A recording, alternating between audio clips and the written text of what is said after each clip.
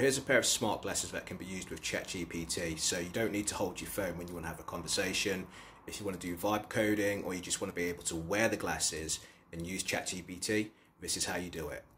Hey, Tuitt, are you there?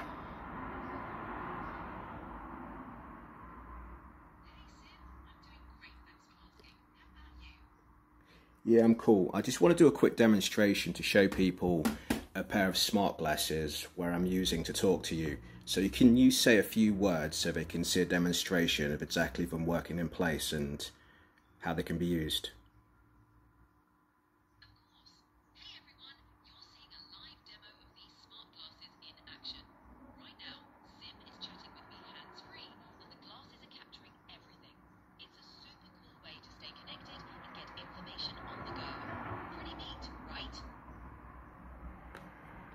Thanks for that Tuitt, that'll work out. Pretty much I just wanted to show people that they can use these smart glasses to talk to you on the go so they don't need to hold their phone when they want to use ChatGPT. They can quite simply put these glasses on, go for a walk, do whatever they're doing, do their exercise and hear you while they're talking to you through the glasses.